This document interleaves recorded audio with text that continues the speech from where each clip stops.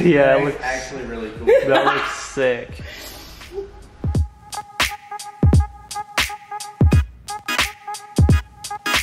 What's up guys, it's Eric from Verus Engineering and we got another install on our Mark V Toyota Supra today. It is our brake cooling kit. You see a brake duct right here. This is our carbon brake duct of the brake cooling kit. Basically what this kit does is force feed airflow to the center of the rotor, which then expels hot air out, which is the natural tendency of the rotor to do so. And this basically just forces airflow in that direction, cool airflow from the front, actually from this front duct area that's actually designed um, from the factory. And then we just take that in fender liner and, uh, and direct that directly into the center of the rotor. Now by doing so, you're gonna help your brakes last a little bit longer and maybe cool it down to the point where a different pad compound may work a little better for you. Um, really that depends on your specific setup, so do your due diligence and see if this is um, good for you or not. This is one of the coolest carbon parts we've made to date. It is our pancake duct for the fender liner. Uh, it basically captures the air right here, keeps a constant cross-sectional area, and then puts um, the airflow out into an orange silicone hose, which then goes to the backing plate. Uh, that backing plate then forces the airflow through the rotor, like I said earlier. Install is very simple overall. If you change your brakes or your rotors, you can basically do this install very quickly and easily. Um, I'm gonna, before we do the install, I'm gonna go over the kit components and then I'm also gonna discuss the tools you need, but overall it's like a brake um, pad change or a brake rotor change and uh, then you'll have this installed on your car. Let's get to it. As far as kit components, I'm showing only one half of the kit because the other half is on our car already. So we have our backing plate. This is a stainless backing plate with a carbon duct. We have hose clamps for the two and a half inch orange silicone hose. And then we have our carbon pancake duct. And that is all that is included in the kit. Obviously this is only half, but it gives you an idea of what you'll see in your kit. Tools required for this install. We have a ratchet right there, E16 uh, socket. This is an 8 millimeter on a hand ratchet, I guess you can call it. 3 inch extension, 6 millimeter socket. Um, sorry, 6 millimeter Allen wrench or socket.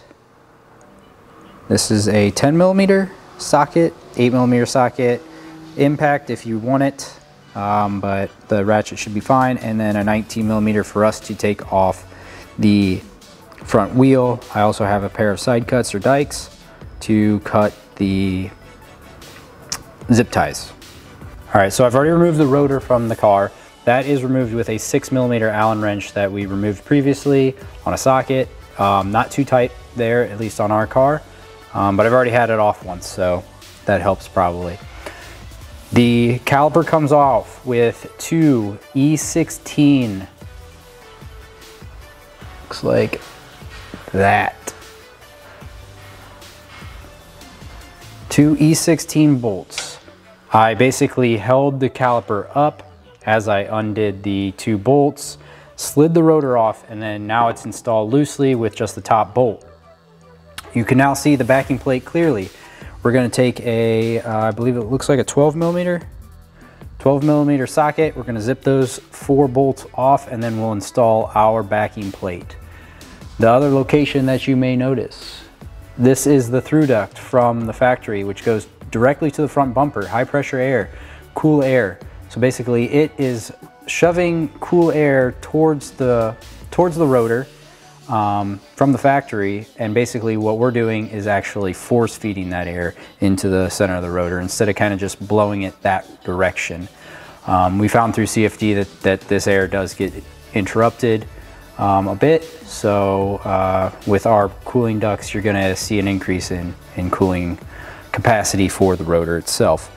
We're gonna get an eight millimeter socket, looks like, and remove this, this, and this. Um, but before we remove this, I'm actually gonna take a razor blade and we're gonna cut this little protrusion off. This protrudes out.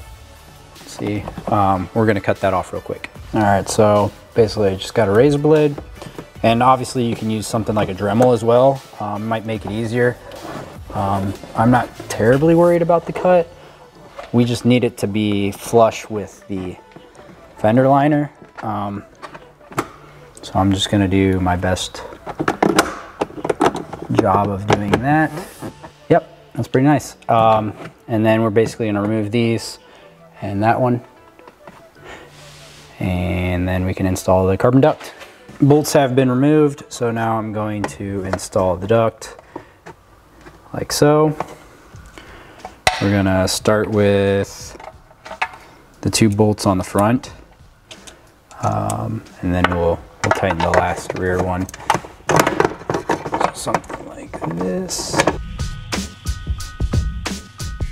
Just the factory bolts, nothing crazy here. Um, they're very coarse thread. They go into like plastic push pin type ordeals. Um, so don't go crazy with torque.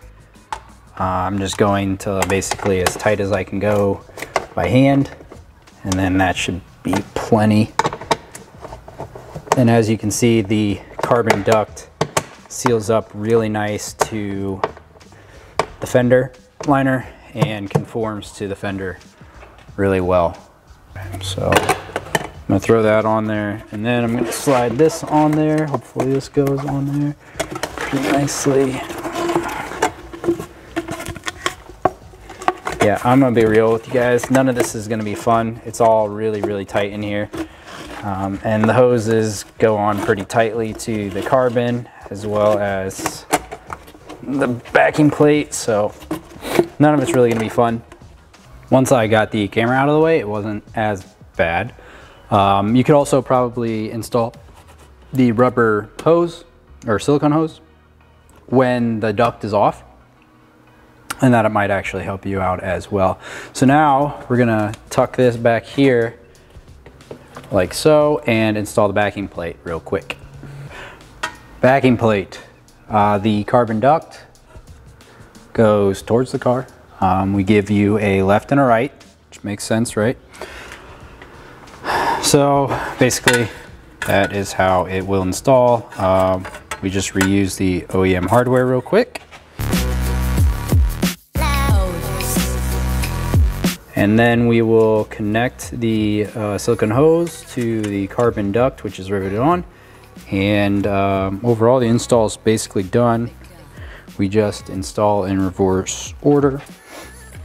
Uh, torque spec for, for these 10 millimeters, something like six foot pounds, nothing crazy. Uh, it's just going into cast aluminum. And as you may notice, uh, we do include a shield for the ball joint. So this is covering the ball joint from all the heat that the uh, rotor has on it.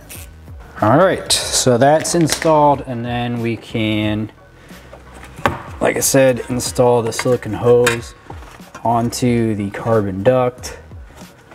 And there you have it. The uh, hose is basically installed.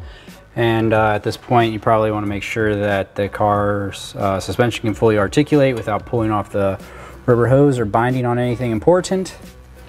Always a good idea to do that type of stuff. All right, so everything has been installed.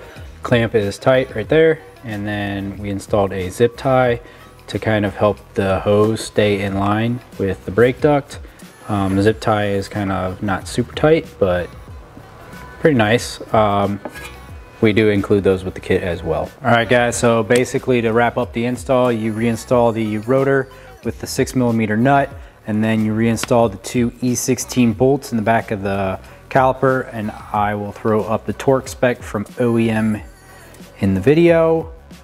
And then the install is basically done. Throw on the bolt, torque the spec. Make sure that the, the hose is not getting caught on anything when you go lock to lock as far as turning is concerned and do as best you can as far as suspension droop. Droop is easy, that's in the air um, but full compression, but you shouldn't have an issue there. Um, we've done a decent bit of testing. I did actually do um, a quick little test fit with our uh, Essex AP Radical setup and uh, both the caliper and the uh, rotor. Both fit with the backing plate, so super thrilled about that and can't wait to get that kit on um, after we finish up doing some testing on the factory stuff. All right guys, that concludes the install of our brake cooling kit for the Mark V Supra. Really excited to get this car on track this year and do some testing, with further testing I guess, with uh, more aero, more tire, more brakes, and more cooling. Um, the car is really capable in factory form, but I think we've really took it up a notch and I'm really excited to see what Dan Clark can do, as well as what some other driver drivers, including myself, can do with the car uh, with some better rubber than factory because at, at, this point I think the factory rubber is really holding us back as far as lap times and uh, I'm really excited to see what we can do with a bit better rubber, better brakes, and uh, maybe some suspension later on in the year. If you want to hear or see us do anything with our Mark V Supra, GT350R, if you have any product suggestions, let us know and we are happy to potentially help you guys out. Um, yeah, looking forward to doing the testing on the brake cooling kit too as well. Um, I think we'll probably do some back-to-back -back testing here in the next few weeks or months, depending on the weather. Till next time.